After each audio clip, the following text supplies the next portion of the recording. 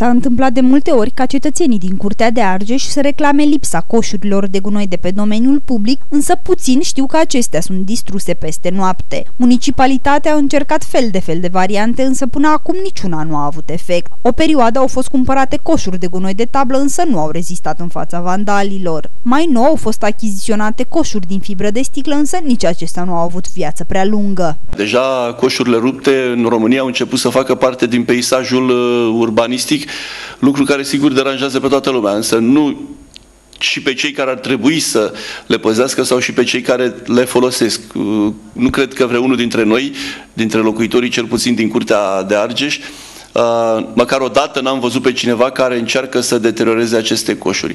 E drept că și construcția lor este destul de șubredă, sunt coșuri care uh, n-au costat foarte mult, așa cum, uh, uh, cum rău facem uh, și nu respectăm acel proverb că suntem prea sărași ca să ne permitem lucruri ieftine.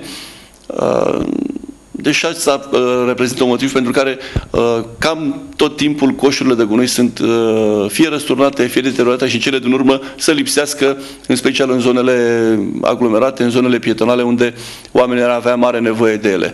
Pentru a stopa acest fenomen, viceprimarul Costinel Vasilescu propune achiziționarea unor coșuri de gunoi speciale anti-vandalism. Chiar am de gând să fac o propunere Uh, colegilor din Consiliul Local pentru următoarele bugete, atunci când stabilim sume pentru achiziționarea de coșuri de gunoi stradale, să nu ne mai zgricim și să, chiar dacă cumpărăm mai puține, treptat, treptat să achiziționăm acele coșuri care sunt uh, construite special anti-vandalism și care să reziste o perioadă mai îndelungată. Polițiștii spun că vor organiza mai multe patrule, în mod special noaptea, tocmai pentru a-i depista pe cei care și-au făcut un obicei din a distruge bunurile de pe domeniul public.